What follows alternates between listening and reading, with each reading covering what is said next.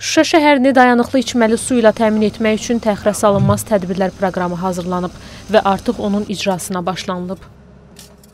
Şuşa şəhərində su təchizatında sabitliyin əldə olunması məqsədi ilə təxirə salınmaz tədbirlər planı Kirs və Zarıslı su mənbələrində su qəbul edici qurğuların yenidən qurulması, Kirs Şuşa magistral su kəmərinin inşası, şəhər ərazisində uzunluğu 6 kilometr olan paylayıcı şəbəkənin tikintisi və eyni zamanda 3 ədəd hər birinin həcmi 500 kub metr olan su anbarlarının tikintisi nəzərdə tutulmuşdur. Şəhərin su təchizatı və kanalizasiya sistemlərinin yenidən qurulması, eyni zamanda su və tullantı su təmizləyici qurğularının inşası baş plana uyğun gələcəkdə həyata keçiriləcəkdir.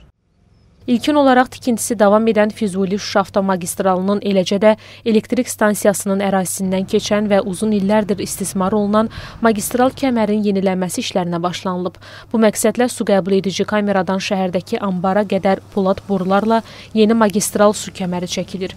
Kəmərin inşasında istifadə olunacaq maşın mexanizmlərin, polad boruların və digər mal materialların Şuşa şəhərinə daşınması təmin edilib layihə əsasında su qəbul edici qurğunun tikintisi nəzərdə tutulmuşdur ki, bu da zarıstı və kiçik kirsdən mənbələrindən gələn suları qəbul edərək diametri 530 mm olan, uzunluğu 1850 metr su kəməri vasitəsilə Şuşa şəhərinin təmin etməkdir.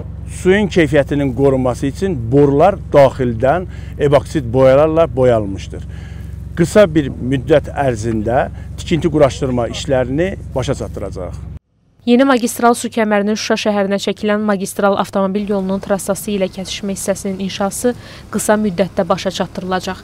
Yeni layihədə Şuşa şəhərini içməli su ilə təmin edən magistral kəmərlər əlaqələndirilməklə su təminatının bir qovşaqdan idarə olunması nəzərdə tutulur. Belə ki, hazırda kiçik Kirs mənbəyindən nəql olunan su şəhərdəki ambar kompleksinə su qəbul edici kameradan, Zarıslı mənbəyindən isə birbaşa ötürülür.